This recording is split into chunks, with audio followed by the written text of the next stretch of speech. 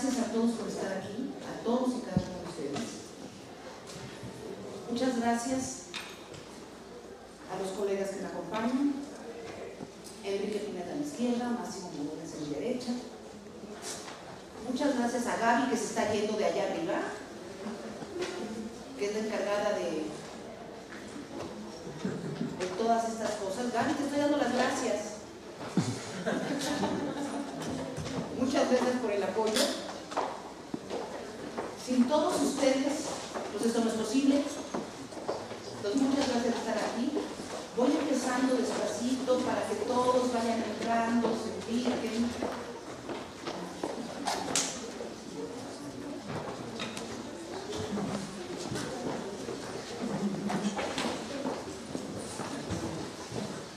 Yo soy Mónica Ligián y junto con la, la profesora Teresa Rodríguez de la Vega tenemos un PAPINE, un proyecto de investigación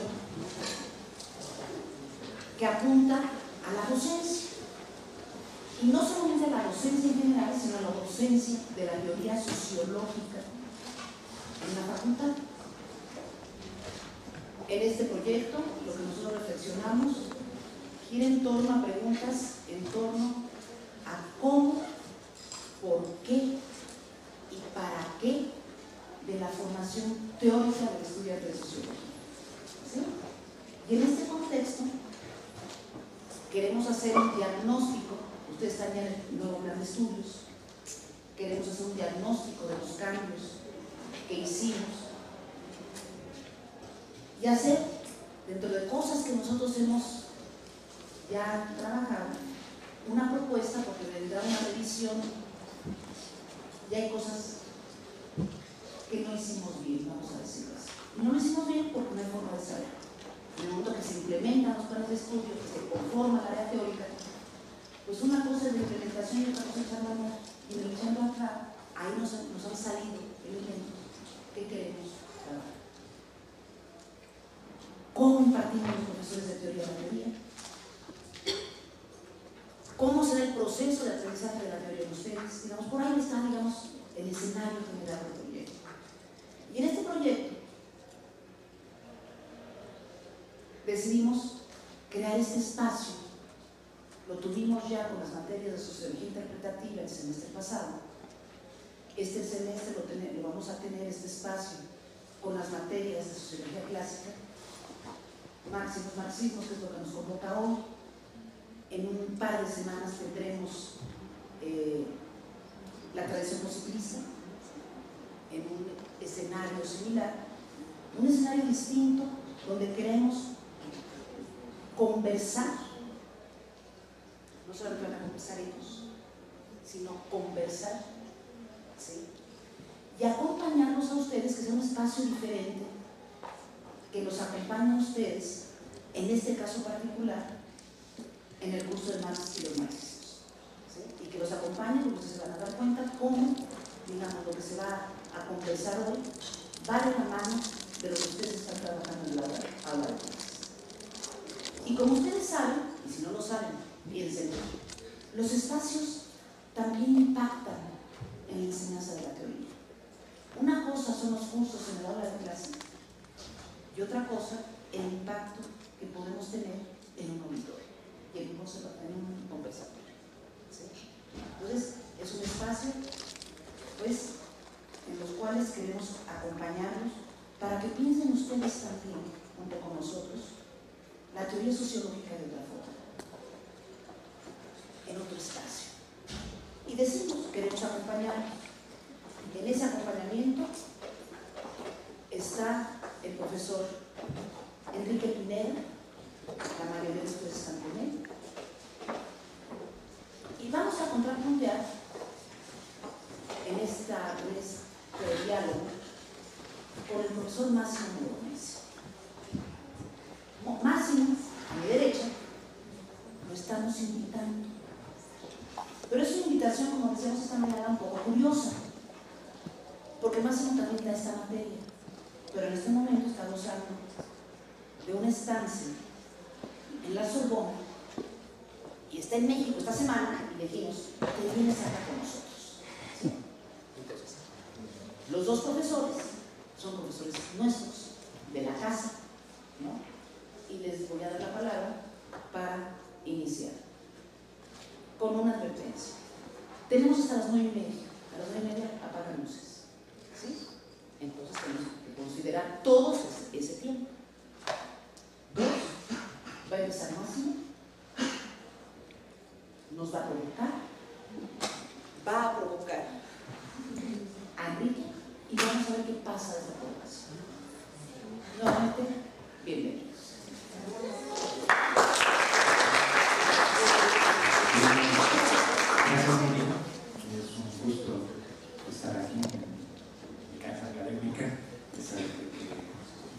Ando de gira en este preciso momento. No sé si voy a provocar a Enrique, porque con Enrique tenemos uh, muchos puntos de acuerdo. En general, hemos estado trabajando juntos en proyectos, en tesis, en cuestiones docentes. Entonces, en la mañana tuvimos un una situación similar con otro profesor, el profesor Arturo Chávez, con quien, a pesar de ser amigos desde hace muchos años, tenemos más diferencias teóricas y vemos cosas políticas. Con Enrique no. Entonces, uh, creo que va a ser uh, menos divertido que la mañana. sí, digo, a menos que me ponga en otro lugar nomás para simular una diferencia que no hay, pero ya sería conceder demasiado el espectáculo. Bueno, lo que quería plantearles hoy es un poco introducir, o sea, es que hay dos cosas que me pidieron. Voy a tratar de combinarlas, porque son dos cosas que son distintas. Por un lado está la lógica de pensar el curso, Marx y los marxismos, y el sentido de la enseñanza teórica del marxismo, que me parece un tema muy importante. Pero por otro lado, Enrique me dijo, bueno, pero centrémonos en un tema como para cumplir también, yo sé que hay problemas de clases, de cursos, de que hay que sumar, digamos, cuestiones al programa. Entonces, de hablar de Gramsci y el tema del Estado y el tema de la economía. Entonces voy a tratar de hacer las dos cosas uh, para, para ver si lo logro.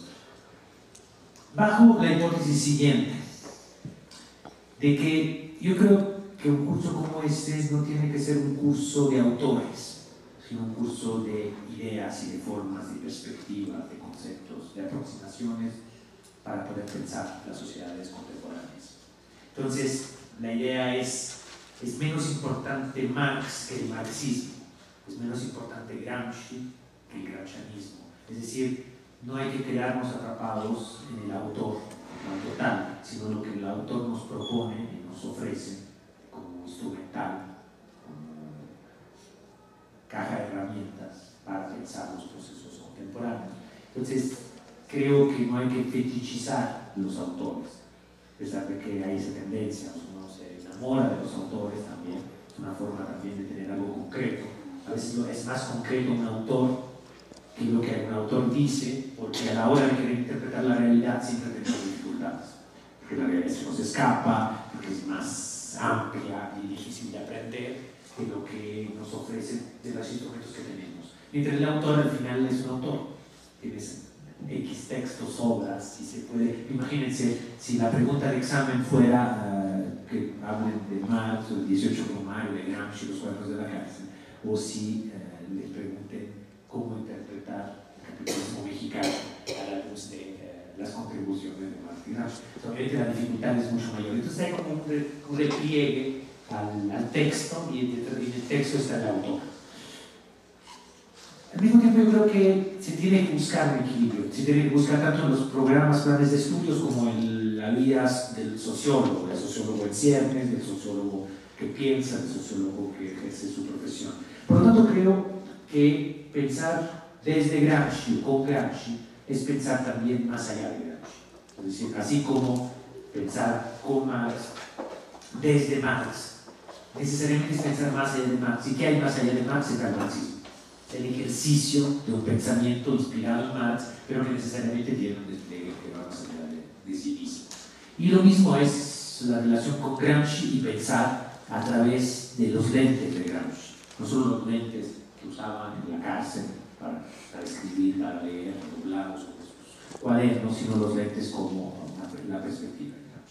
Entonces voy a, dicho eso, entonces me voy a dedicar menos de lo que hice en la mañana a decir quién era Gramsci, que era, sin duda es un personaje interesante, además particular, un activista, un dirigente político que termina en la cárcel, que muere en la cárcel muy joven, escribiendo notas uh, sin publicar libros, pero dejando muchos apuntes que se vuelve una de las obras más fecundas y más uh, citada que, que conocemos, eh, más citada, el eterno del marxismo, y decía en la mañana, es el más citado después de Marx. Entonces es uno de los marxistas imprescindibles. Entonces es una historia interesante, es un personaje interesante, pero que incluso también tiende a ser objetivado. O sea, entonces citar a Gramsci es una forma también de, de autorizarse para decir cualquier cosa, y uno es una cita de autoridad. Ahora, eh, más que hablar de él y de la relevancia que tiene el programa, el marxismo actual, post-marxismo, en esa reflexión que rebasa el perímetro marxista y trata de, digamos, interpreta la realidad desde ciertas tendencias que incluso tienden a ser demasiado culturalistas, o sea, con una sobrecarga de análisis cultural. Voy a, presentarles algunas ideas, digamos, un poco para plantearlas en este, eh, en ese afán de ver si se trata, si son conceptos, categorías que siguen siendo útiles o que les parecen útiles, a mí me parecen sin duda útiles para pensar los procesos actuales. Asumiendo que eso es lo más importante, en última instancia lo más importante es nutrirnos de conceptos, de un lenguaje, de una capacidad de interpretar, para poder interpretar la realidad. Pues diría Marx también que no solo interpretar, sino transformar, que a través de la interpretación podemos transformar. Gramsci eh, tiene la característica de, de, ser un autor que se coloca en un momento de, de derrota política y de crisis teórica del marxismo. La primera crisis teórica del marxismo. Eso es, eso es interesante porque de alguna manera es un lugar de enunciación, es un punto desde el cual piensa. Entonces piensa poniendo en discusiones las certezas las partes más duras, más rígidas tratando de interrogarse sobre algunos pasajes que meditaba ser problematizados porque se convertían en jaulas, en reduccionismo, en mecanicismos que estorbaban en un análisis más abierto de la realidad. La podría que decir, quisimos hacer la revolución y no lo logramos. Entonces hay que no preguntarse cómo se hace la revolución, también preguntarse por qué no funciona, por qué no se logra hacerla. Entonces preguntarse cuáles son los problemas, las dificultades y no solo las potencialidades de revolución. O sea, la hipótesis es el capitalismo crea sus contradicciones, crea, genera contradicciones pero no quiere decir que esas contradicciones sean directamente, inmediatamente explotables para llevar adelante un proceso revolucionario. Entonces hay que analizar la contracara, cómo el capitalismo y las sociedades burguesas también se van edificando, construyendo de una forma sólida y resistente. Entonces sí generan contradicciones, pero son contradicciones que no necesariamente llevan a su destrucción, por lo menos en el corto plazo. Entonces ahí hay un giro en el análisis. No es la hipótesis de que eso tarde o temprano revierta. La crisis eso explota, las contradicciones explota, el capitalismo está destinado a morir. Bueno, está destinado a morir, pero resulta mucho más resistente de lo que nos pensábamos. Eso es como el punto de partida desde donde pensaba Gramsci y creo que no podemos olvidar que es una reflexión que resulta bastante actual. O uno ve la crisis, ve los elementos, las contradicciones, los problemas, los conflictos, la devastación ambiental, social, etc. Al mismo tiempo, no forzosamente eso es suficiente como para vislumbrar un fin un quiebre definitivo del orden existente. Entonces, las preguntas, la pregunta es sustancial de, de, Gramsci es esa. Eso resiste más de lo que nos imaginábamos, entonces el marxismo tiene que repensarse hipótesis y tiene que ir afinando sus, su capacidad analítica. Afinarla allá donde se ha uh, esclerotizado, donde se ha vuelto rígido. ¿Y dónde se había vuelto rígido? Esa es la verdad. En sobredimensionar la cuestión económica. entonces Gramsci era antieconomicista, o sea, su blanco era el marxismo economicista, o sea, el marxismo que reducía el análisis a lo estrictamente económico, que derivaba la, la comprensión de los fenómenos sociales, políticos y culturales de lo económico. Partiendo de esa hipótesis, que incluso en alguna formulación de Marx planteaba que, que las la, la relaciones de producción las relaciones sociales de producción y la relación con decir la base económica, determina la conformación de lo que llama la superestructura. Se trata de un universo ideológico, un universo jurídico, estatal. Entonces, esa, esa relación mecánica, Gramsci la problematiza y dice, bueno, hay que interrogarnos sobre eso, porque eso no es tan, cierto. Primero hay un retorno de lo político, de lo político incide sobre lo económico, y además tenemos que desplegar el análisis de lo político. Porque si no entendemos cuáles son las dinámicas políticas, no podemos asumir que la historia del capitalismo se resuelve en lo económico, se resuelve tanto en términos críticos, problemáticos, y por otro lado, la superación del capitalismo va a ser una superación que se va a hacer sobre el término Entonces, tanto el problema capitalismo como la solución postcapitalista requiere ser pensada más allá de un análisis estrictamente económico. Bueno, eso no es nuevo en el marxismo, había lecturas de lo político. Pero Gramsci considera que lo político había que abrirlo y no reducirlo al análisis de los... no pensar que lo político se reducía a lo estatal. Entonces va a empezar a, atacar el, análisis marxista del Estado y a diversificarla, abrirla, complejizarla. ¿Cuál era la visión clásica, si quieren, del Estado?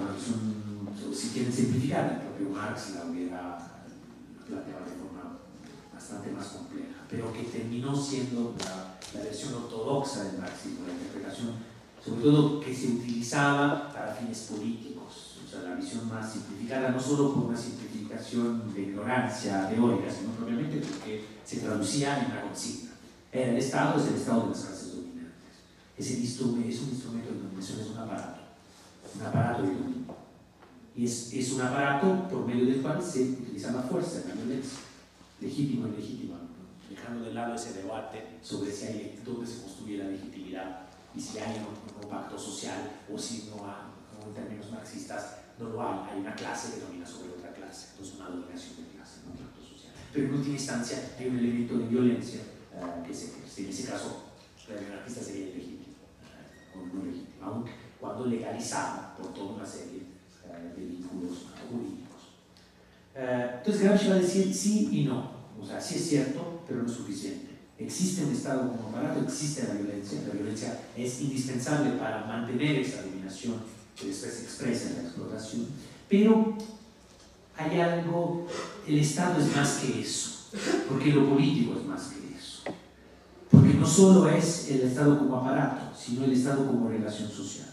Y el Estado como relación social se manifiesta en la sociedad civil, en lo que Gramsci va a llamar sociedad civil, siguiendo y cuestionando una línea de pensamiento que viene del liberalismo. Está diciendo existe un universo que es social, estrictamente social, después vamos a ver que también es cultural, pero es un universo social en donde se gestan y se forjan relaciones de dominación. O sea, lo político no es solo político estatal, es también sociopolítico. Son, relaciones sociales teñidas de elementos políticos, porque la dominación se construye, se constituye en el terreno de las relaciones sociales. Entonces, para eso recupera una noción de sociedad civil, pero no de esa sociedad civil separada del Estado, sino integrada al Estado. O sea, la sociedad civil es la proyección social del Estado. Por eso Gramsci habla de un Estado ampliado, de un Estado integral. O sea, el Estado capitalista avanzado no es un Estado dice Gramsci, vigilante nocturno, o sea que simplemente se cuida de que digamos, no haya problemas mayores, sino es un Estado que interviene en lo social. Interviene porque requiere intervenir, porque es una sociedad que ya es de masas y las masas hay que gobernarlas, y para gobernarlas hay que tener intervención social. Esa intervención social se da en el contexto de la sociedad civil, se da tratando de gobernar las relaciones sociales. Y de ese gobierno de las relaciones sociales se constituye el fundamento más profundo de la dominación política. Entonces el Estado funciona como tal solo y sí o siempre y cuando es capaz de generar consenso, persuasión, no solo ejerciendo la fuerza, sino ejerciendo el consenso. Es decir, en términos gramscianos, siendo hegemónico. La noción de hegemonía es la que introduce esa, variable consensuada, persuasiva, de convencimiento, agregada a la variable coercitiva, violenta. Digamos, no separada porque si no pensaríamos que, hay una lectura de un Estado simplemente uh, persuasivo o consensuado. No, Gramsci dice, esa, la dimensión es violencia más consenso.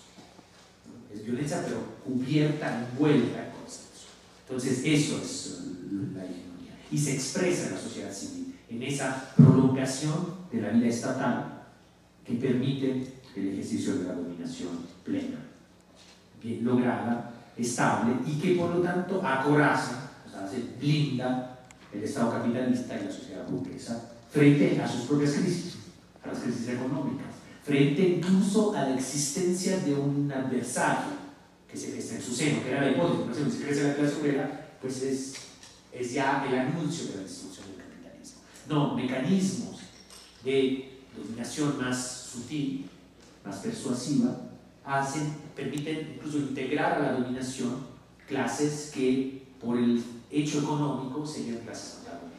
Entonces el antagonismo que se genera en la apropiación del plusvalor, en la, en la lucha de clases, puede ser mistificado, distorsionado, eh, las aristas más, sensibles a través de procesos que son procesos sociopolíticos, estatales, pero fundamentalmente ideológicos. Y aquí viene la, otro aspecto de lo hegemónico. Lo hegemónico se manifiesta, si, se, si es consenso, si es persuasión, también en términos de mecanismos de convencimiento. Y los mecanismos de convencimiento apelan a aquel universo de circulación de las ideas, de visiones del mundo o visiones distorsionadas del mundo, que es el universo ideológico. El propio Marx coloca, coloca en una tensión entre pensar la ideología como distorsión, como manipulación, y la ideología como visión del mundo alternativa. Sea, son dos acepciones de la noción de ideología. Que el propio Gramsci maneja con cierta soltura y con cierta novedad y creatividad, porque asume que a la ideología como, persuasión manipulada, distorsión, hay que contraponer, o sea, a la hegemonía, hay que contraponer una acción contra ella. Y, asumir que si la sociedad civil es el terreno en donde se afirma la dominación de clase, también es el terreno en el cual se puede eh, contraponer planteamiento alternativo, una clase alternativa que disputa ese mismo terreno, que no solo se gesta en el terreno económico, de su existencia, de la existencia expropiada y explotada, sino que se prolonga en su capacidad de constitución subjetiva. Se constituye como sujeto, toma conciencia de sí misma en el terreno ideológico y en la disputa que puede dar en ese mismo campo de batalla de esta sociedad civil, donde tendencialmente es subalterna, por eso habla de clases subalternas, pero al mismo tiempo es resistente, digamos, acepta la dominación porque es víctima y es objeto de ese bombardeo, de esos que se llamaba una visión de Gramsci, aparatos ideológicos del Estado, o sea, el Estado no solo como bienes, sino el Estado como escuelas, propaganda, radio, periódicos, iglesia, toda esa dimensión cultural acompaña el ejercicio de la dominación, pero al mismo tiempo no es un sujeto pasivo, sujeto a sujetado, sino es un sujeto que resiste y tiene ciertas capacidades, ciertos márgenes de mayor respecto de esa ofensiva político, cultural, ideológica a la cual está cotidianamente sometida. Y esa resistencia, entonces las clases subalternas, no solo explotadas, sino subalternas porque insertan esa relación de dominación, emprenden también o potencialmente son susceptibles de emprender un proceso de constitución de sí, de sí mismas y de disputa política. O sea, constituirse a sí mismas quiere decir conquistarse la autonomía, cierta independencia ya no confundirse sobre y restablecer esa raya de división, que es la raya de la lucha de clases, que tiende a ser difuminada, tiende a ser confundida, tiende a ser diluida por todos esos intentos de de de comunidad nacional, por ejemplo, de una idea de sociedad civil donde todo el mundo uh, convive, de un Estado que es el resultado del pacto social, es toda una serie de discursos que tratan de diluir y de hacer imperceptible esa división de clase que sí se gesta en la economía, pero que se, se prolonga y se disputa en el terreno político. Entonces, bueno, ahí hay una... Ahora, ¿cómo, cómo entender esa, perdón, esa, esa tarea de ir resistiendo y eventualmente contraatacando en ese terreno tan delicado en donde además las clases dominantes detienen el poder estatal, el poder estatal, repito, no solo como ejercicio de la violencia, sino también con todo el aparato estatal que se dedica a la persuasión. Incluso queremos hay políticas sociales acompañadas de discursos uh, desmovilizadores, de discursos que se le otorgan a los pobres, pero a, cambio explícito, implícitamente de, de dejar de uh, convertirse en actores que demandan, entonces neutralizando sus propios, sus propios ¿Cómo, cómo, ¿Cómo intervenir? Ahí hay también un desplazamiento que hace Gramsci respecto a ciertos textos canónicos o cierta doctrina marxista instalada en el campo de las prácticas políticas y de la conformación de los partidos comunistas. O sea, la idea de un, un partido o movimiento político que se dedique con, digamos, no exclusivamente, pero como de forma fundamental y prioritaria, a disputar el sentido común por lo tanto a tener tareas educativas y de construcción de conciencia. O sea, si la disputa es en el terreno cultural, si la ofensiva es cultural e ideológica, es en ese terreno que hay que contraatacar. Y contraatacar en ese terreno quiere decir construir dinámicas, prácticas y por lo tanto instancias, organizaciones que operen en ese terreno. Entonces, no solo disputar el terreno educativo, propiamente metiéndose a, ser maestros, a, autobiográfica, o, meterse a hacer periodismo, circular ideas, sino construir incluso un movimiento y un partido que se piense como intelectual y como un intelectual colectivo.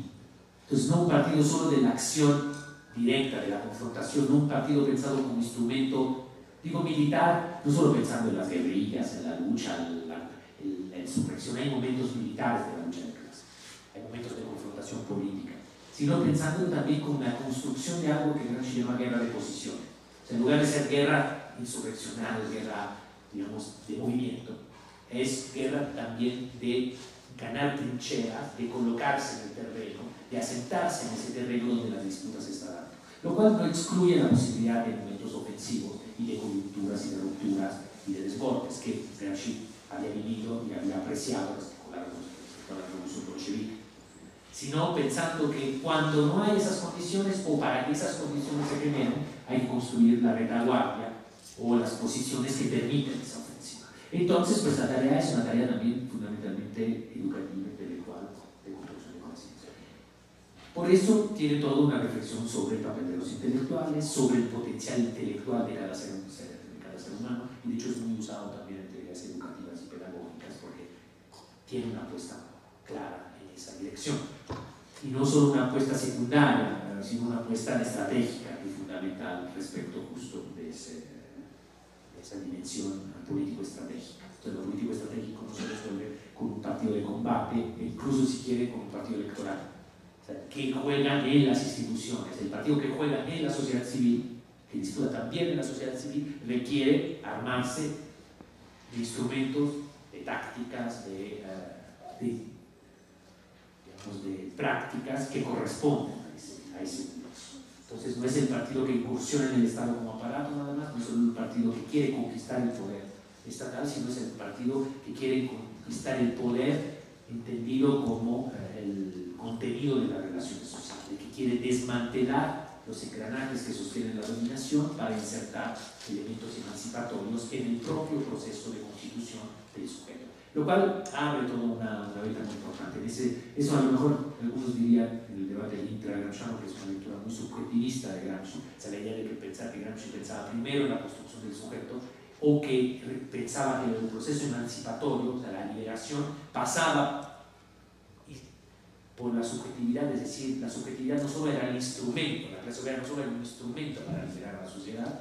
sino las prácticas que la clase obrera podía adoptar para liberarse a sí mismas eran en sí mismas un proceso de liberación, porque era la construcción de autonomía, o sea, el ejercicio autónomo, su capacidad de autodeterminación, la capacidad de, decidir por, por, uno mismo, o sea, por nosotros mismos. Entonces los subalternos se liberan en la medida en que se, colocan de frente van contrastando las, los intentos justo de, uh, de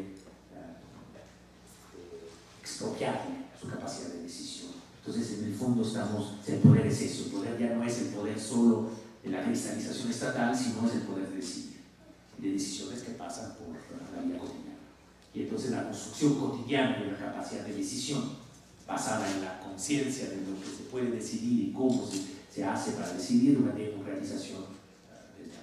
Bueno, ahí hay una serie de, elementos que, um, que, que, sirven para pensar, no solo una estrategia alternativa, no solo sirven para pensar políticamente, sirven también para uh, afilar herramientas críticas para descifrar cuáles son, o sea, por un lado descifrar cuáles son las características de los procesos actualmente existentes y descifrar, digamos, esas características fundamentales y eventualmente diseñar estrategias alternativas, que por cierto tampoco son estrategias alternativas que se diseñan, digamos, uh, en abstracto, son procesos realmente existentes, o sea, Gramsci no estaba simplemente dictando algunas normas de conducta o algunas, sino que estaba leyendo los procesos históricos. De hecho, Gramsci hace muchas, digamos, uh, busca en las experiencias del pasado de las clases subalternas. Hay una sección de sus cuadernos que llama siempre pasado y presente. O sea, por el título pasado y presente, porque lo que dice es, fíjense cómo las clases subalternas tienen esas dinámicas, conquistan sus espacios autonómicos, disfrutan el poder, al mismo, al mismo tiempo son uh, objeto, son de, uh, digamos, son uh, vulneradas en sus capacidades de decisión, son relegadas a espacios periféricos, etc. Está haciendo como un mapa, tratando de cartografiar ese, ese universo. Por lo tanto, no está solamente, no es solamente un ejercicio prescriptivo, o sea, de lo que hay que hacer, sino es un ejercicio analítico para mostrar cuáles son las formas de la vida política en las sociedades capitalistas actuales, o sea, cómo operan las clases dominantes y cómo operan las clases subalternas. Por eso, por ejemplo, cuando Gramsci insiste que lo que hay que disputar es el sentido común, los valores dominantes de una época, lo hace no solo planteándolo como hipótesis, sino diciendo eso ya está ocurriendo. Los valores, el sentido común siempre es un terreno de disputa, también es un terreno de lucha de clases y de disputa política. Porque si bien es dominado fundamentalmente y está teñido de los colores y de las ideas de las clases dominantes, por otro lado también está, digamos, al interior del sentido común se encuentran lo que se llamaba ciertos núcleos de buen sentido, es decir, ciertos elementos contradictorios o que colocan ideas que no forzosamente son ideas funcionales a la dominación, sino son ideas de resistencia, ideas de comunidad que se contraponen a la fragmentación individualista, que son los puntos de partida desde los cuales se pueden emprender recorridos más eficaces y más amplios.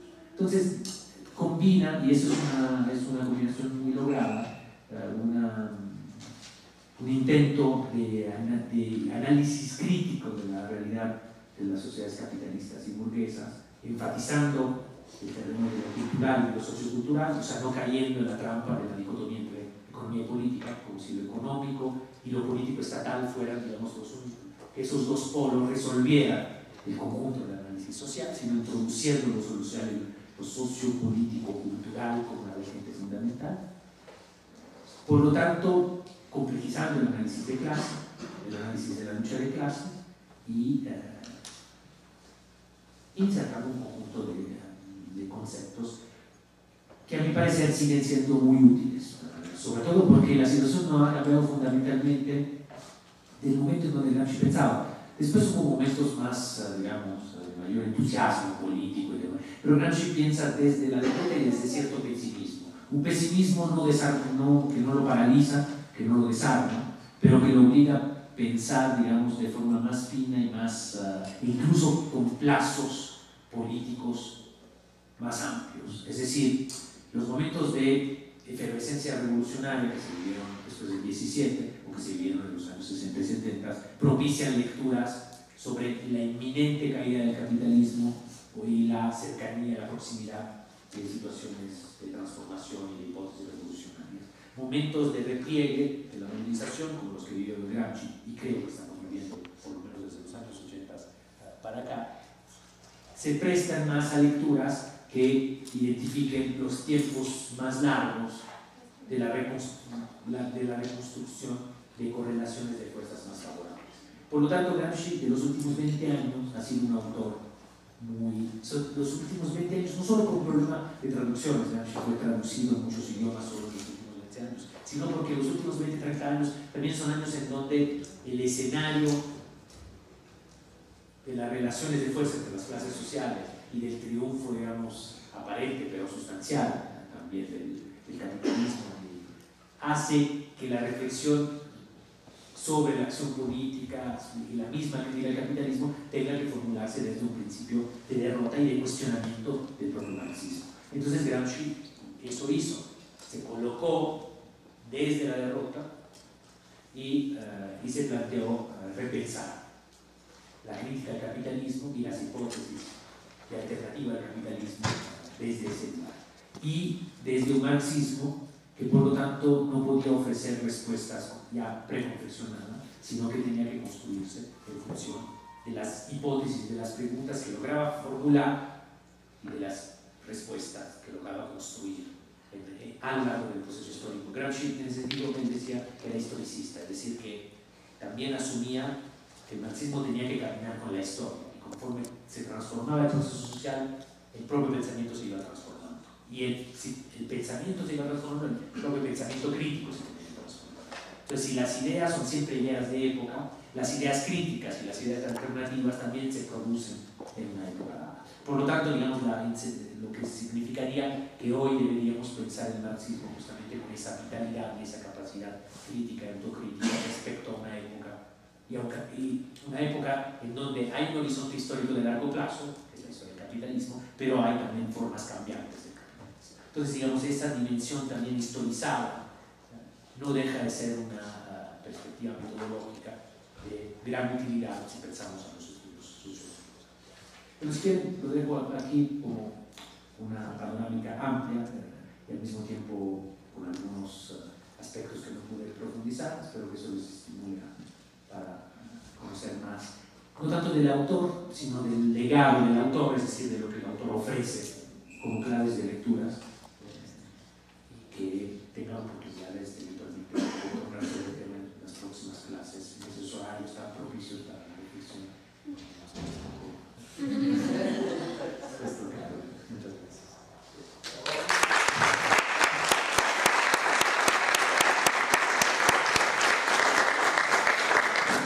Vamos a ver. Ah, ¿qué nos dice? No, yo, yo no traigo una. Bueno, aquí quisiera comentar algunas cosas, eh, más que una eh, presentación formal, porque la mayoría son, somos del grupo, y este, aunque hay varias personas que veo que también vienen de otros grupos. Eh, me gustaría comentar algunas cosas como para compartir, aunque en el partido compartimos algunas, y luego, no sé si provocaciones, porque en realidad yo había planteado también eh, que una de las columnas vertebrales y de, de, los marxismos era precisamente Gramsci, en el sentido de lo que habíamos planteado de si había que ponerlo en un lugar especial, y qué bueno que tocó entonces que podamos aprovechar a Máximo, que es como medio especialista, bastante especialista, y, este, y que podemos profundizar. Tres cuartos, sí, es lo que quería decir.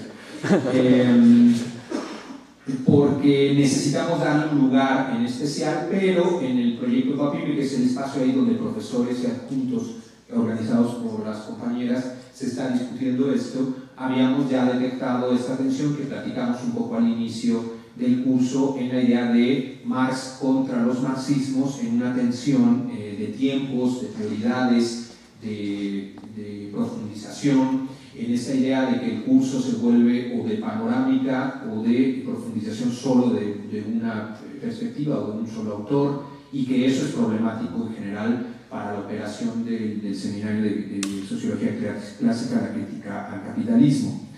Pero quisiera comentar tres premisas eh, y compartirlas también con los que vienen por, eh, de otros grupos. La primera es que, en, al menos en, en, el grupo que estamos nosotros, eh, en esta tensión entre Marx y marxismo decidimos privilegiar esencialmente la teoría crítica, por decirlo así, o la crítica al capitalismo, eh, por sobre los autores del marxismo, a excepción de Marx. Y no Marx por ver a Marx, efectivamente, sino porque además el curso está estructurado bajo ejes, eh, tres, cuatro grandes ejes en realidad, pero el primero es introductorio, tres grandes ejes que es precisamente entender el capital, entender el Estado y entender los aportes del marxismo en la emancipación o la revolución.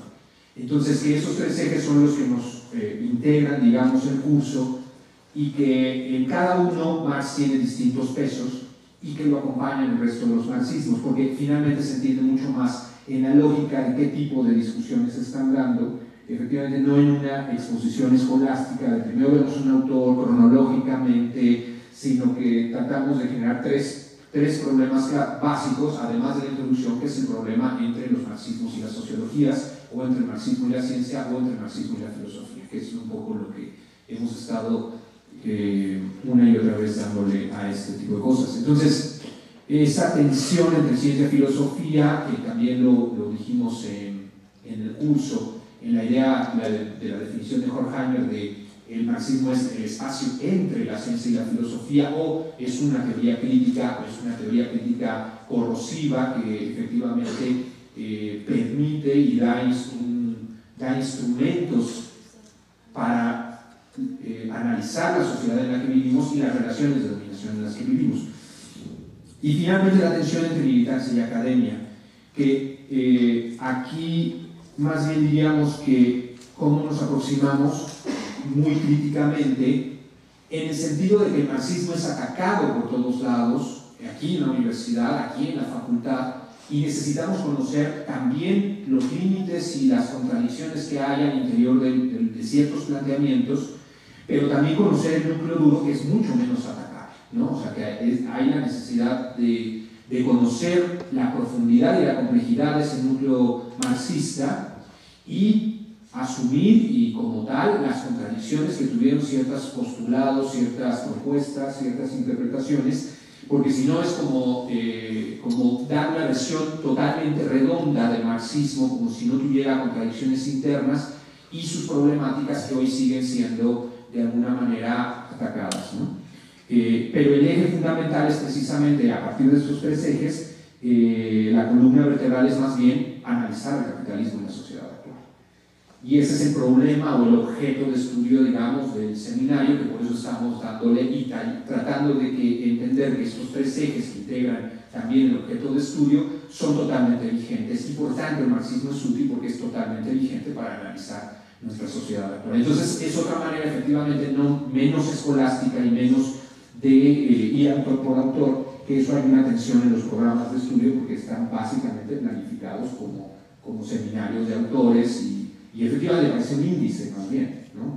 antología de, terminaron siendo, a pesar de que los objetivos son más complejos, ya en, en las unidades y esto terminan siendo de alguna manera antologías y pues la lógica dice, bueno, se tiene que ver tantos textos ¿no? en este orden, etc.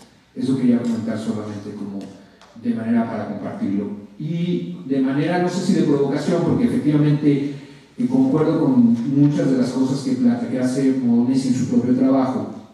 Y además a mí me gusta mucho Gramsci sin ser especialista, este, o un tercio de especialista, un octavo de especialista en, Gramsci eh, pero sí hay algunas cosas que me gustaría como ver si Máximo puede profundizar unas cosas y algunas cosas que me parecen como importantes también para el curso. Uno es si Gramsci eh, al final termina siendo un leninismo más complejo.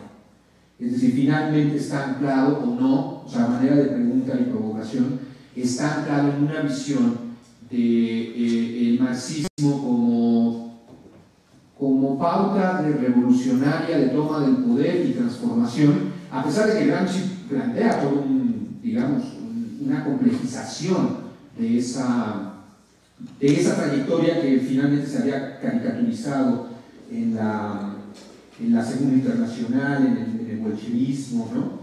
Esa es la acusación que a veces también se le hace a Gramsci, ¿no? Y en ese, ¿cuál sería tu opinión más bien al respecto? Porque, bueno, además acabamos de ver a Lenin muy de manera muy general, una, otra vez una introducción. Fantástico. ¿Eh? Esta de la revolución. bueno, no, no, lo vimos literalmente. no, no. Bueno, sí, habría varias preguntas y varios reclamos que hacer.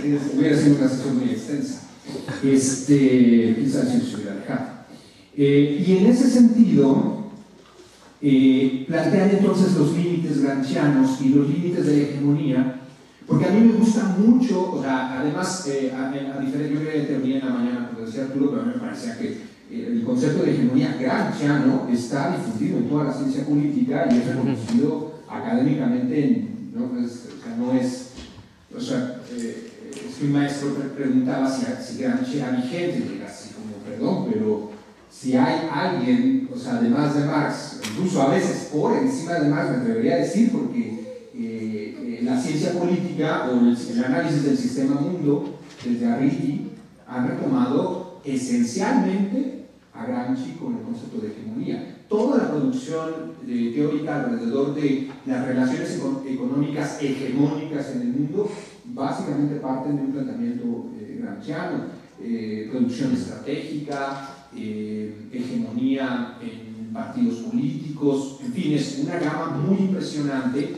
donde siento que la, la otra, lo quería decir también como aporte, de decir, Gramsci es aceptado, quizá a veces a regañadientes, pero es muy aceptado en la otra área que es, es ciencia política, y de ahí hacia otras derivas como las trayectorias del sistema mundo, que es más historicista, bueno, lo verán en quinto, se supone, y, este, y a mí me parece ese, ese, ese actual, esa actualidad de Gramsci muy importante. Pero quería decir, contraviniendo lo que estoy diciendo, que no sé si el marxismo, y lo digo siendo con, convencido plenamente marxista, pero pensando en que la idea de totalidad del marxismo, ¿se acuerdan que vimos un poco esta, este planteamiento, ¿no? de cómo eh, pensar la sociedad desde la totalidad de sus articulaciones, desde sus múltiples determinaciones, se decía? Eh, si no el marxismo a veces, y que así nos ven también hacia afuera, todo termina embonando en un gran plan hegemónico, donde no hay elementos sueltos, donde no hay contradicción, todo es un plan de los dominadores todo tiene, eh, digamos, detrás hay una, una estrategia de la, dominación. Y si no, entonces, evidentemente el marxismo, por su intención liberadora, siempre está buscando dónde hay relaciones de dominación. Pero a veces el problema es que se vuelve, o lo podemos volver, una teoría omnicomprensiva donde todos los elementos son explicados y donde no hay dos elementos, que ahí sí me parece, y, y me preguntaría cuál es tu opinión, no hay a veces caos, o sea, entiendo que todo el marxismo siempre ha planteado, y esencialmente Marx, la idea de las contradicciones y cómo estas generan contradicciones que están sueltas y que son contradicciones en sí mismas de, del propio capital, que es las que hemos estado diciendo, incluso es eh, eh, autodestructiva eh, estas contradicciones que minan las bases de renovación del propio capitalismo y aún así sucede, y ahí hay una perspectiva compleja.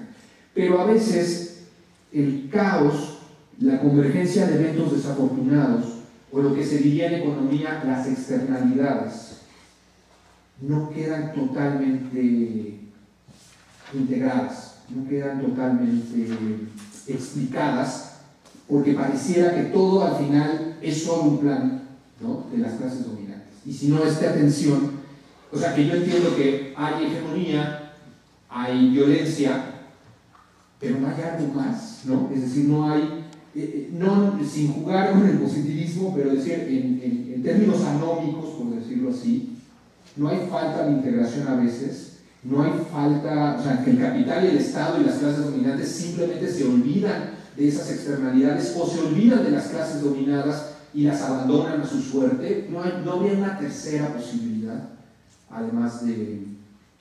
Eh, y, en eso seguir dando vueltas a, la hegemonía.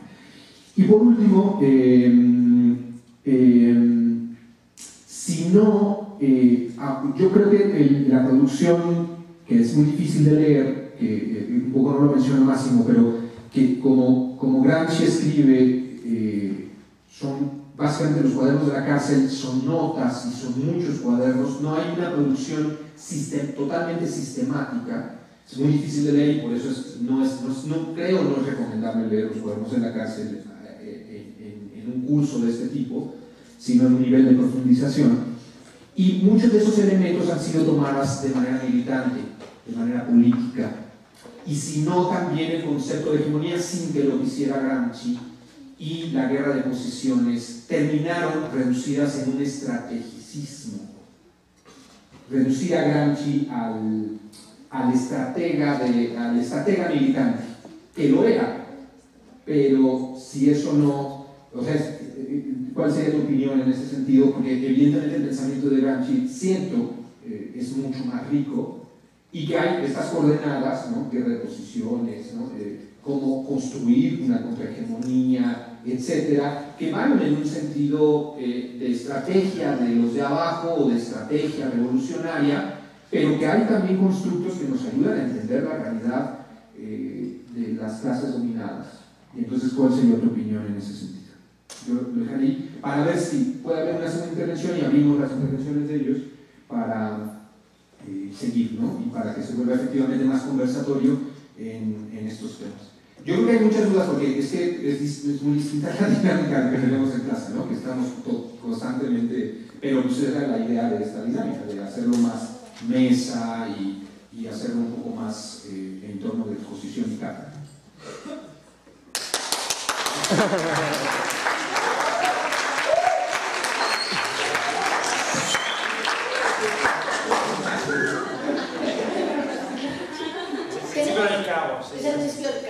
Tenemos media hora. ¿sí? Aquí hay distintas dimensiones. Tanto Máximo como Enrique dieron apuntes en términos de la lógica de un curso como estos. Este nivel. Y el otro nivel, ¿no? que bueno, pues mencionó ya Máximo en su intervención, este, cómo se prioriza, digamos, en este, ahora a Gramsci, la importancia de Gramsci en el curso, cómo no es un marxista más, vamos a ponerlo así, ¿no? sino que sería uno de los marxistas corazones del centro, de aquí, y de ahí se han derivado elementos en términos del Estado, de hegemonía, bla, bla, bla, ¿no? alcances y límites. Les propongo, ¿contesta Máximo? ¿Participamos nosotros? No sé si es contestar. ¿Participa Máximo? ¿Participamos nosotros? ¿Participa Enrique nuevamente? Ya iremos si nos queda algún tiempo más o no. ¿Estarían de acuerdo? Va, gracias. Va. yo, voy a hacer una, única cosa. En el fondo todo lo que planteaste gira en torno a, a una única cuestión pues, en términos de respuesta. Porque la cuestión es, o sea, Gramsci, por el tipo de obra que ofrece, y ahí es efectivamente similar a Marx. Es una obra abierta porque no es una obra terminada. Y no, al no ser terminada, tiene la virtud de la apertura. Y en esa apertura caben muchas interpretaciones. Hay un libro, creo que el libro más interesante sobre Gramsci es un libro realmente que no, está, no ha sido traducido porque es muy italiano. El debate sobre Gramsci empieza desde el momento que circula la obra de Gramsci, y circula obviamente primero en italiano. Entonces, la historia del debate sobre Gramsci es más larga en Italia que en cualquier otro lado. Es un libro que en los últimos capítulos toca también la historia del debate mundial sobre Gramsci. Se llama Gramsci contendido. Gramsci estirado, porque efectivamente jaloneado, porque efectivamente cambian muchas interpretaciones. Entonces, si tú me dices, eh, ¿puede ser Gramsci pensado como Lenin más complejo? Sí. O sea, podría decir que no es el Gramsci que yo que yo aprecio más, pero al mismo tiempo sí cabe eso, porque efectivamente hay una clave. Y hay un diálogo permanente con Lenin para ir más allá de Lenin, pero con Lenin, con el leninismo. Entonces sí lo, encuentras. Al mismo tiempo, si quieres encontrar una ruptura, también encuentras la, la ruptura. Entonces, el tipo de texto que entrega y la, también la soltura intelectual que tiene el autor, ahí es donde cabe su genio. O sea, es un pensador que tiene elementos muy creativos, pero al mismo tiempo y que se interroga más que ser afirmativo en sus conclusiones. Entonces, cabe todo esto. Entonces, lo que te puedo contestar eventualmente de forma más precisa sería cuál es mi lectura, que no es además una lectura solitaria, o sea, yo, digamos, eh, en el debate sobre Gramsci concuerdo con algunos, con otros, tengo además una lectura muy, si quieres, latinoamericana de Gramsci. Entonces, ahí eh, entramos en otro terreno, que según yo es el terreno además más interesante. O sea, no es solo cuál es el pensamiento verdadero. Y sobre eso hay obras y obras y hay instituciones y obras. Soy miembro, soy del comité directivo de la International Gramsci Society, que es una cosa. Yo digo que es el circo gramsciano, o sea, nos reunimos en varias partes del mundo y está el tomador de leones, personajes con distintas habilidades. El, pero el centro del asunto es que dijo verdaderamente de construir Gramsci, entonces se va viendo, digo, anécdotas y fallas. Gramsci tenía derecho a tener solo dos cuadernos en su celda, entonces uno lo llevaba, uno lo traía y solo tres libros. Entonces, ¿qué estaba leyendo cuando escribía? ¿Qué estaba pensando? ¿Con quién dialogaba? O sea, es una cosa, digamos, exacta, para ver exactamente qué quería decir, lo cual no deja de ser fascinante.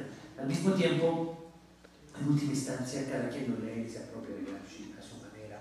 Y distintas maneras caben, siempre y cuando no se violete, no se distorsione, no se le lleve a otro lugar completamente opuesto, o las lecturas son válidas siempre y cuando no se amparen en la lectura auténtica de Gramsci. Uno dice, yo estoy pensando con Gramsci, pero no es que pretendo que ese sea el único, la única lectura posible. Lo mismo pasa con Marx.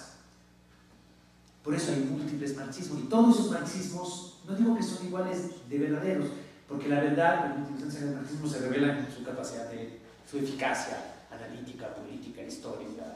Entonces, pero instancia sí cabe. Entonces no hay una respuesta eh, respecto a eso pero sin duda suspicacia, porque de eso se trata, respecto a cierto Gramsci que también por eso puede ser uh, utilizado con soltura en una ciencia política totalmente intrasistémica y no antisistémica. O sea, la hegemonía puede ser una lógica de dominación más que finalmente no tiene ninguna carga emancipatoria y es un dispositivo, es un dispositivo eventualmente dominación que Gramsci analiza críticamente, pero si le quitas el elemento crítico y la parte subversiva que finalmente termina siendo un instrumento del poder.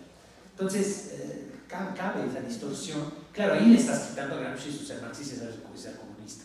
No es poca cosa. O sea, él se revolcaría en la tumba, se está revolcando en la tumba respecto a eso. Entonces, si, si ven a Gramsci, o sea, si lo encuentras de frente, no hay que decirle eso, se va, se va a molestar. Y el tema de la, de la totalidad, eso tiene que ver con algo que es un debate de época, que se llama el totalitarismo. O sea, en el fondo, el principio de que la dominación se vuelve, se va sofisticando al punto de volverse integral y de volverse de difícil desmantelamiento. Esa idea de que siempre más estamos siendo manipulados siempre más sutil, siempre más problemática, que los aparatos estatales, ideológicos y coercitivos van esa es una idea que viene de la época, desde la época del, fascismo, también de la Unión Soviética. Gramsci es un crítico de la Unión Soviética, es uno de los primeros críticos de la Unión Soviética, hay otros, pero de los sutiles críticos de la Unión Soviética, porque no hace una crítica solo desde el antistalinismo, hace una crítica de los porque ni siquiera le toca ver a Stalin en pleno poder, pero va viendo los fenómenos de degeneración y los problemas que se pueden crear en términos de una cuestión de totalidad. a él le interesa un Estado que logre emancipar, pero ve también los problemas de un Estado. Entonces, siento que mm, el propio pensamiento de Gramsci está lleno de contradicciones, que no son contradicciones de falta de lógica y de coherencia del autor, son expresiones de las problemáticas de un tiempo y de las problemáticas inherentes a cualquier análisis que pretenda dar cuenta de una situación tan compleja como es la sociedad que estamos viviendo, y más aún dando hipotéticas respuestas, porque esa es como la riqueza, ahí no hay un cierre en donde no, no deja y no se puede encasillar en una, un poco de la de la escuela de Frankfurt, o sea, el gran plan de los dominadores, para Gramsci siempre tiene una vía de salida por eso las clases subalternas son potencialmente clases dominantes. Y la hegemonía es un instrumento que les permite contraatacar. Entonces ahí está el contraataque. A pesar de que está en el peor, en uno de los peores momentos históricos, Gramsci siempre piensa que hay una hipótesis de contraataque. Incluso habría que preguntarnos si no hay un optimismo en ese pensamiento, en ese marxismo de, que todavía es de hace 100 años, que hoy día habría que discutir. O sea, estamos en un momento, en una época en donde Gramsci decía una, tiene una fórmula que es muy eficaz, pero al mismo tiempo no deja de ser, uh, dejarnos un poco desamparados, es decir, se requiere el pesimismo de la razón y el optimismo de la voluntad. Ahora, el punto es, eso suena bien, pero el pesimismo de la razón implica también asumir que los márgenes del optimismo de la voluntad son restringidos, no, es una, digamos, son vasos comunicantes. O sea, una cosa va hacia la otra, no, es, no se puede tener 100 de cada uno de los dos. Entonces, eh, dos tercios, tres cuartas partes, o sea, estamos en la, la clase de, de, matemáticas. Eh, entonces, bueno, siento que ahí hay, la respuesta por lo tanto es una sola, no es eh, puntual sobre los aspectos.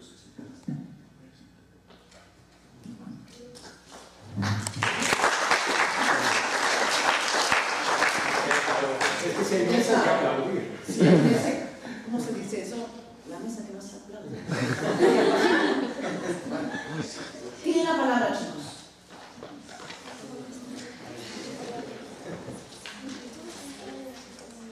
Respiren. No ustedes. Ustedes piensen, piensan. Luego, ah. Tenemos poco tiempo. Pase con micrófono porque... Construcción del sujeto. Entonces, atención, si es primero la construcción del poder estatal o la construcción del sujeto. Ok, buenas noches. Soy Pero, bueno, soy un- Ok. Ya me cansé, ya mientras se llega para. ¿Cómo no dale? Ok, bueno. Ustedes tienen la prioridad. Em, para usted, doctor. Em, pienso que uno de los grandes problemas que tenemos hoy en día, la juventud, es que este maniqueísmo, que podemos a, a veces ver en el marxismo, ha sido humanizado. Es decir, todo lo malo decimos, bueno, tendrá algo bueno, todo lo bueno decimos, bueno, hay que ver lo malo. Y mm, creo que eso imposibilita la, la efervescencia, quizás no revolucionaria, pero sí al menos crítica. Tenemos ese, ese tope. Sabemos que todo lo tenemos que ver en los rostros de Hannah, los, los dos lados. Entonces, una pregunta es, ¿qué formas de resistencia y de contraataque, cuáles serían su alcance para chavos de nuestra edad, digamos en un mundo en el cual obviamente no estamos eh, dispuestos a, a optar por, una, por, por la violencia, quizás muchos, quizás es más que la sociedad demanda que seamos reflexivos, ¿no? Y eso frena un poco nuestro pensamiento utópico, quizás no utópico, pero al menos estratégico. Parecemos estar en un bache por completo.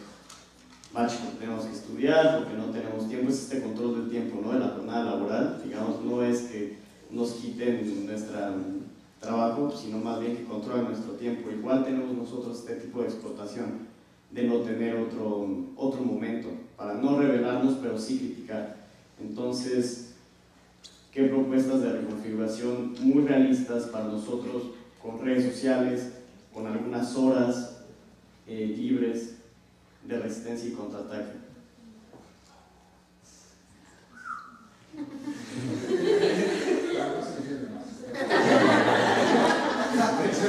O bueno, más, más concreto, ¿cuál es el combate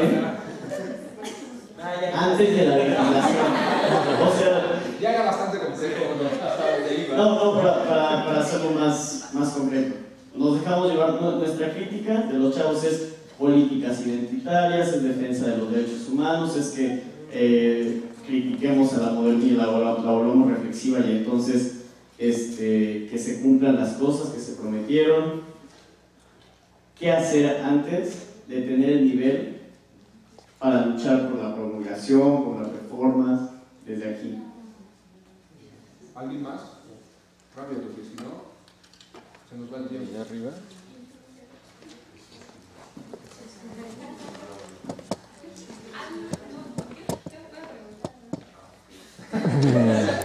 Sí, esa es la idea. O decir algo. Eh, me estaban hablando sobre que en la época en que estamos ya el marxismo no es considerado como vital en los estudios. Inclusive en una clase anterior estábamos tocando sobre la revolución rusa y mencionaba el maestro, hablando del marxismo, que si él tuviera la posibilidad quitaría del, programa de estudios del marxismo porque no, no era así una materia que acreditabas con puntos, ni que tampoco nos iba a funcionar en el paso del tiempo, ¿no? Porque, bueno, creo que lo consideraba como un conocimiento anacrónico, eh, histórico. Entonces, mi pregunta es, ¿será que en realidad ahorita no es la poca valoración o el poco funcionamiento del conocimiento del marxista, sino el temor a cómo eh, nosotros podemos utilizarlos en esta época eh, todos esos elementos marxistas para resolver los problemas, será más bien ese el temor que tienen para eh, que conozcamos más a fondo sobre el marxismo y que lo pongamos en práctica. No sé. Discusión muy revolucionaria. Voy a traer más. ¿Quién más? ¿Quién más rápido? O sea, no había dudas de lo que dijo, nada, sino ya la acción. Ya queremos hacer la revolución.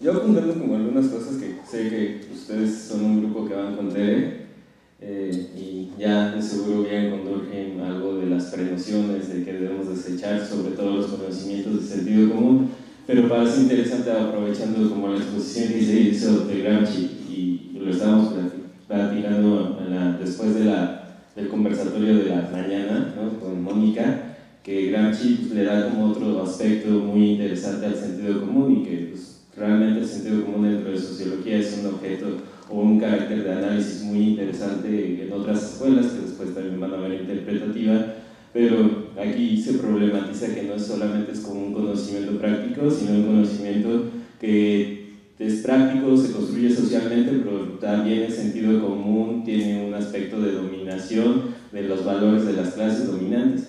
Pero también hay, dentro de mis inquietudes, es como cómo podemos profundizar ese elemento de la construcción del sentido común, del sentido valorativo, y cómo le damos un carácter más profundo desde cómo se escribe, ¿no? Porque desde el momento, bueno, ligándolo con ciertas inquietudes que tengo de análisis acerca de la infancia, el sentido común no nacemos todos sabiéndolo, ¿no? Como un depositorio biológico de este, nuestro carácter natural, sino se nos es enseñado de diferentes maneras, pero tiene un alcance muy profundo si se es enseñado al menos desde la infancia, ¿no? Esa es una parte. Y la otra, haciendo mayor diferencia, que va ligada un poco a lo que la primera pregunta, eh, que el marxismo lamentablemente creo que está muy mal entendido la clase trabajadora, porque la, el trabajo en Marx lo ve como la capacidad de transformación de cualquier sujeto de su mundo o de su realidad, ¿no? Y que realmente lo que se apropia el capitalista es esa capacidad de transformación, ¿no? De los, de los obreros. Entonces, eso, si le quitamos como la si no los centramos en la industria o en las fábricas como él lo había visualizado, sino lo expandimos a mayor este, desglose, empezamos a ver que diferentes tipos de humanos, no solamente como trabajadoras, sino como estudiantes, como amas de casa, eh, como jóvenes, y demás cosas, empieza a aparecer diferentes particularidades desde donde poder transformar, ¿no? porque no, la fuerza de trabajo no solo se reduce a la capacidad eh, manual, sino también a la fuerza de trabajo intelectual. Entonces, eh, hay más ligándolo, entonces, ¿cómo empezamos, y más en esta actualidad, pensar esas capacidades de transformación, pero también pensar como otras distintas trincheras, al menos en esta eh, contemporánea, ¿no? Y más ligado con ciertas inquietudes que van ligadas con este intento de poder transformar y cómo hay clases subalternas, me interesa como mucho lo que han hecho las mujeres en los últimos años, ¿no? Yo lo veo un poco con las patronas, ¿no? Como estas mujeres que les dan de comer a los migrantes que pasan por el tren de la bestia, o las mujeres que en Argentina iniciaron el movimiento de cacerolazos por la crisis económica que se vivía, pero fue interesante ver que desde su propia sentido común, como de buen sentido, empezaron a manifestar esa carencia de alimentos y después se propagó un movimiento mucho mayor.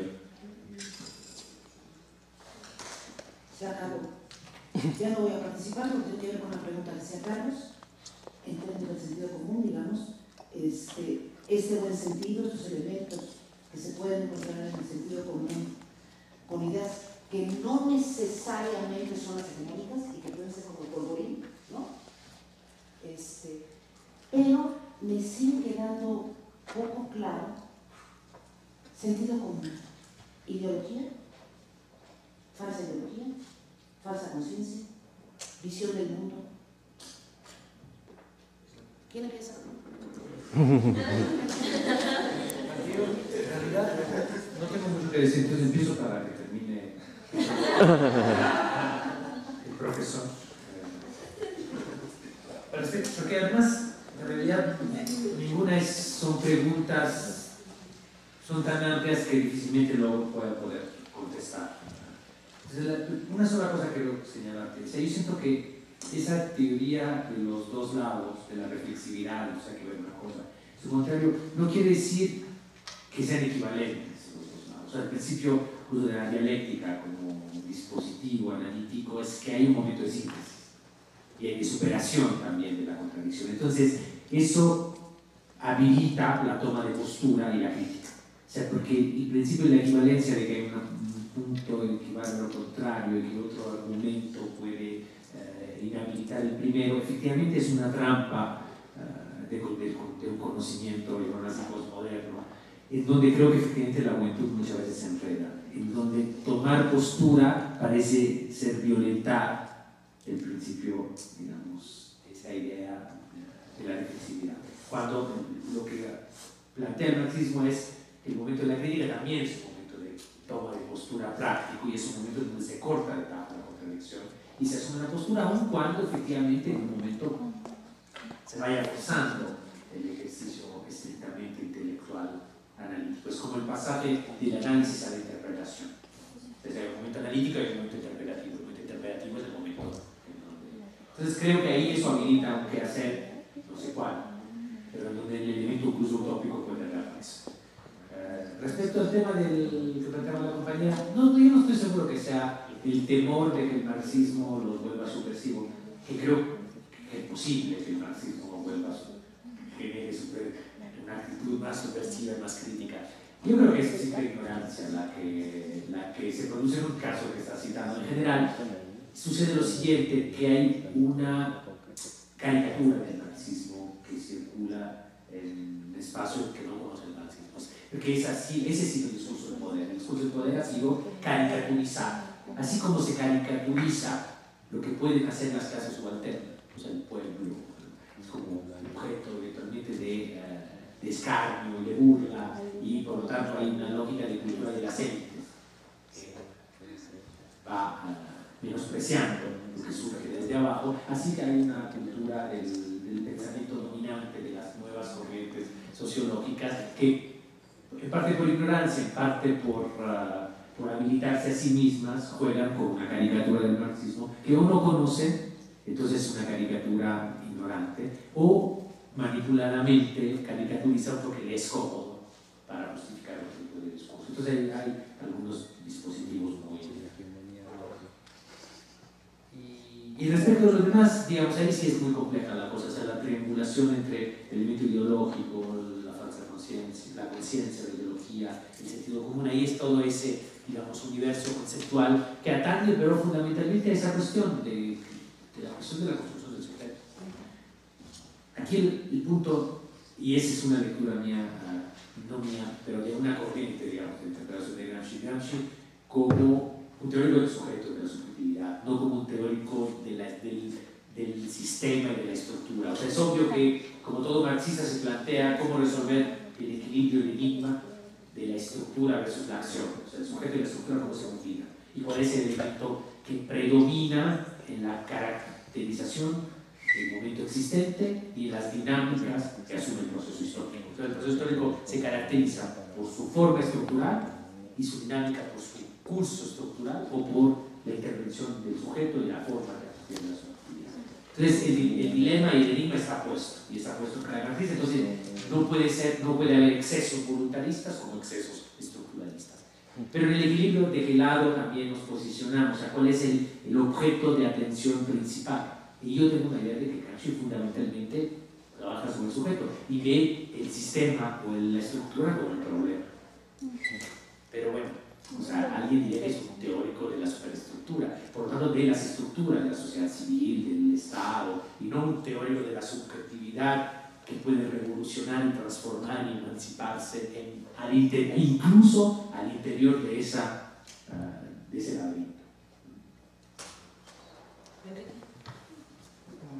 Yo lo que diría es que si varios tienen, yo siento que con lo que hemos ido avanzando en el curso, ahora tienen problemas existenciales. Tienen problemas para ver las mercancías cuando van a comprar, con sus familias. eh, algunos quieren pasar a la acción, como ahorita varios preguntaron. Hay que hacer algo, hay que organizarse, hay que impulsar algo, pero no saben por dónde empezar. Entonces el marxismo ha provocado lo que debía provocar. El marxismo es una teoría crítica corrosiva.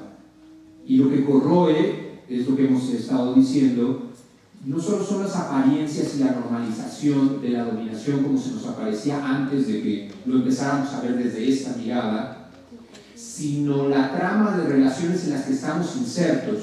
Y yo creo que he mencionado varias veces en el curso de, por eso también se da en sociología, a pesar de que la postura de algunos es que no es una sociología como tal, pero es su, su, su visión es sociologizante porque nos pone eh, a explicar también nuestro papel en una trama de relaciones y lo que vuelve la teoría crítica es volver intolerable esas relaciones. La teoría crítica vuelve intolerable la dominación. Cuando la vemos desde este punto, y creo que vamos ya un poquito más de la mitad del curso, se nos está volviendo intolerable. Y ese es el, ese es el objetivo. Ese es el objetivo de la teoría crítica, volver intolerable las relaciones sociales, no solo en una denuncia panfletaria eh, para tomar partido, partido en el sentido amplio, tomar postura, pues, eh, sino en el sentido de develar esas relaciones de dominación y verlas desde, de, desde esa perspectiva crítica.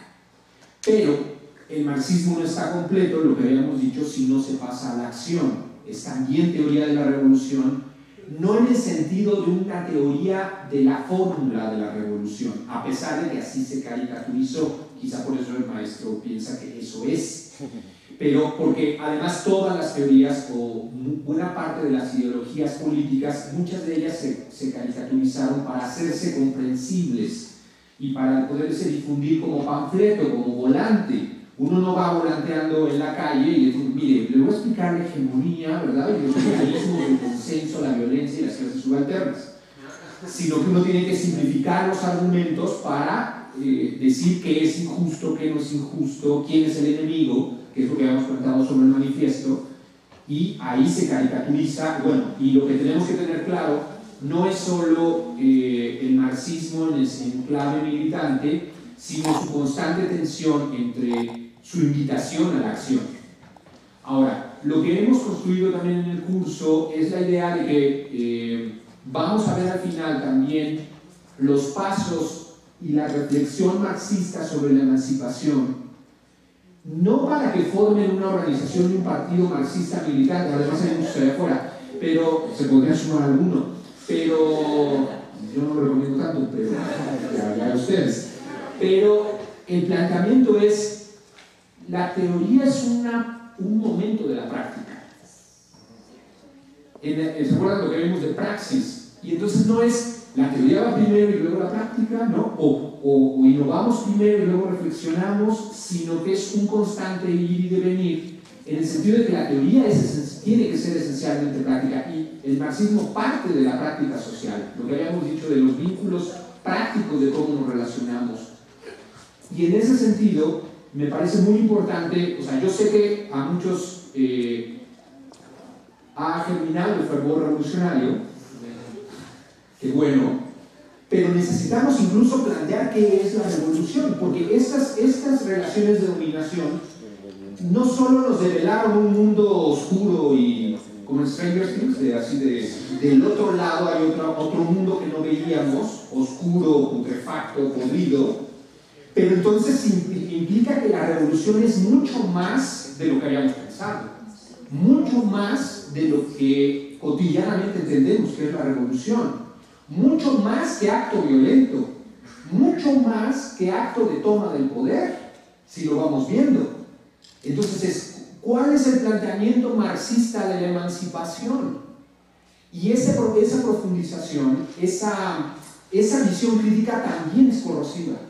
Es decir, la liberación no solo es acto político de, de estrategia, toma y victoria, que es como lo ha pintado incluso la historia dominante, es más. Y en ese más ya ha habido señales de lo que Marx piensa, o sea, es señales, nunca plan, nunca fórmula, nunca dogma. Lo que se volvió ahí, y eso por eso tenemos que estar prevenidos, si se vuelve fórmula, dogma, receta, cuidado, porque ahí sí yo estaría de acuerdo con el, con el profe. Eso no, sirve, no, no sirve mucho. No sirve mucho adentro de la universidad ni afuera de la universidad, en la militancia. Pero si reconocemos el planteamiento y el núcleo central marxista también de la emancipación, de la revolución, una revolución, por eso el marxismo es ultra radical, porque no está diciendo solo quememos el, palacio, ¿no? Eh, matemos a los burgueses y viviremos felices en el cielo. Hay un planteamiento todavía más radical de reconstruir las relaciones sociales tal y como las entendemos porque han sido enajenadas, que es lo que vimos en, la unidad 2, enajenada nuestra capacidad de reproducir la vida. Han sido enajenados los medios de producción, los medios de reproducción de la vida. Entonces, ¿cómo se reproduce la vida, una vida libre, si está, digamos, ensartada, eh, trabada por una serie de relaciones de dominación y explotación, que es, lo que hemos estado insistiendo? Pero como ahora no hay tiempo más, o sea, y además era para dejarlos en suspenso, porque eso es, es decir, además no hay una solución, es cómo repensamos juntos. Si así es como, cómo pensamos la sociedad capitalista juntos, de manera crítica, vayamos a la unidad que dice cómo pensamos la liberación y la emancipación juntos de manera crítica y de manera radical y corrosiva, que es lo que planteamos. Eso es.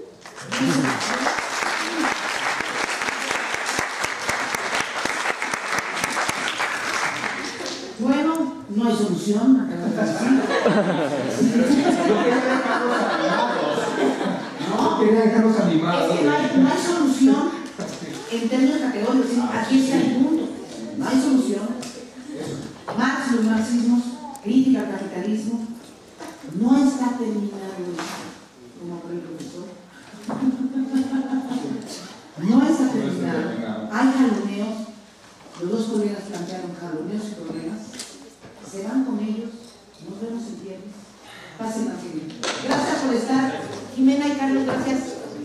Gaby, Oye, yo quiero gracias. hacer una anuncio antes de que Gaby corte todo porque tiene que salir corriendo. Este, si nos reunimos, nada más, no vamos a hacer clase obviamente, ¿no?